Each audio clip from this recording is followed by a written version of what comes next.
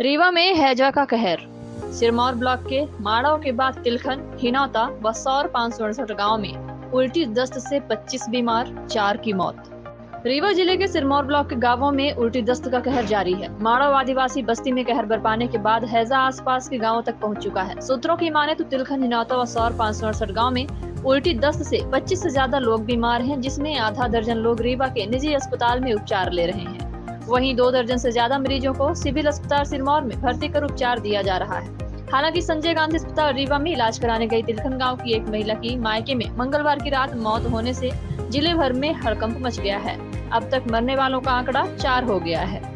इनकी हो चुकी है मौत। सिरमौर बीएमओ डॉक्टर प्रशांत शुक्ला ने बताया कि 10 जून को आकाश कोल, निवासी माड़ो, आदिवासी बस्ती की एसजीएमएच में उल्टी दस्त के बाद मौत हो गई थी, जबकि 11 जून को कुसुमकली और 12 जून को सुगनी कोल, माड़ो, आदिवासी बस्ती के गाँव में बुढ़ापे के कारण नेचुरल से प्राण निकल गए थे।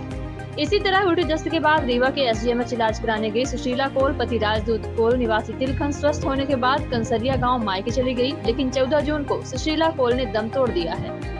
माड़ो में राहत, तिलखन निनादवसर ने बढ़ाई टेंशन। स्वास्थ्य अधिकारियों ने बताया कि माड़ो गाँव में अब राहत है, जबकि तिलखन गाँव में आठ मरीज़ सामने आए हैं। जिसमें पूजा कोल, छोटी कोल, महल कोल, सरस्वती कोल, दिलीप कोल, रामाश्रय कोल, अर्जुन कोल और अंश कोल में उल्टी दस्त के लक्षण मिले हैं। वहीं हिनौता गाँव में 12 मरीज़ सामने आए हैं, जिसमें अजीत कोल सुकवरिया कोल, संगीता रावत, मोहिनी कोल, साक्षी कोल, लीलावती कोल, ओम कोल आदि में लक्षण मिले हैं, जबकि सोन पाँच गाँव और बोलौधा गाँव में कुछ केस मिले हैं।